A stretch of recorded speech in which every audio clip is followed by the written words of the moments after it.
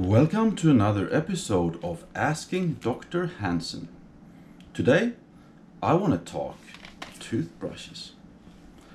It might be a simple thing, but it's very easy to get it wrong, and there is a lot of smart people out there. Just saying, as a doctor, I've met many, many people of great intelligence, and they can't brush the teeth properly. So, is it because they're dumb? No, it's because they don't pay attention. That is why we pay attention to asking Dr. Hansson, because Dr. Hansson will make you feel good and he will teach you how to do things. And yes, so today, finding a toothbrush. Um, the brand itself is not that important.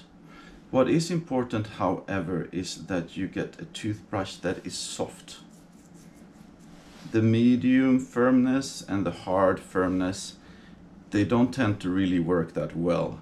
And the way the soft one works is you need to be very gentle. So with your teeth, go back and forward, apply very little pressure. And by doing so, this toothbrush is designed to go into all the different areas of the teeth.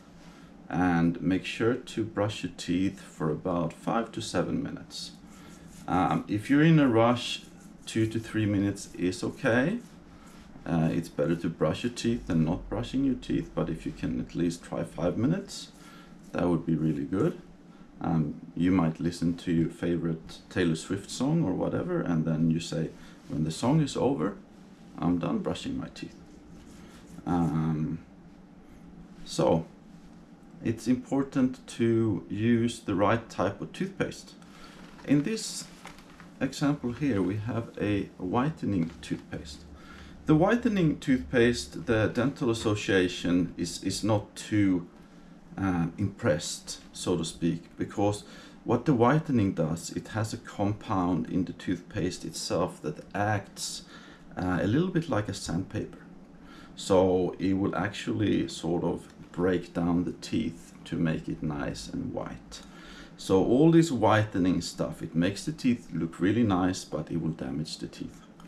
Um, so yeah, brushing your teeth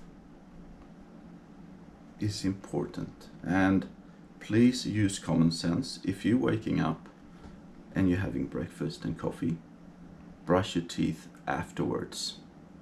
Don't brush it before, because you brush it before you get a layer of protection with um, with the fluoride. But then as soon as you eat, that will attack your teeth. So eat first and brush later. And then try to not snack too much. Because when you're snacking a lot, that's when the teeth get attacked all the time. Um, the worst thing for your teeth is the stuff that sticks, sugary things that stick on your teeth, like the lollies and stuff like that. Um, so try to reduce that. And if you do, you can always uh, rinse your mouth and then brush your teeth.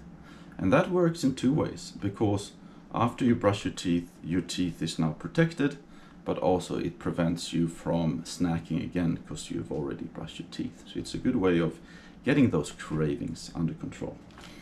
On the backside of this toothbrush, you may have seen a bit of a pattern, and this is for the tongue ah.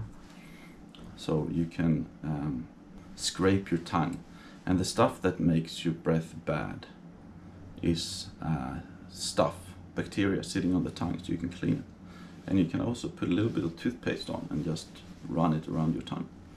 And uh, yeah, when it comes to drinking sugary drinks, we don't recommend that you do that. But if you would, please use a straw. The straw were designed in America, so you can still drink sugary drinks without having to uh, sacrifice your teeth.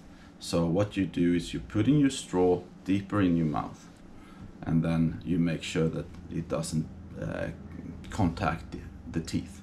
If you do contact the teeth, it's not a big thing. You can wash your mouth with water, and then they're protected. Uh, we also recommend, um, this is the common thing that people don't think about when it comes to the teeth. Um, your teeth have a certain lifespan, and if you grind your teeth at night, that lifespan will be greatly reduced. So we recommend that you come into your closest dentist and you get a mouth guard. And what that does, it, it creates a protective layer that is tailor-made for your teeth. It will reduce the amount of um, grinding that you do at night and it will also make you sleep better. But that grinding, when you're grinding the teeth every night, it's like sandpaper. And uh, us dentists, we're talking about the state of your teeth. So if we say that you have 50%,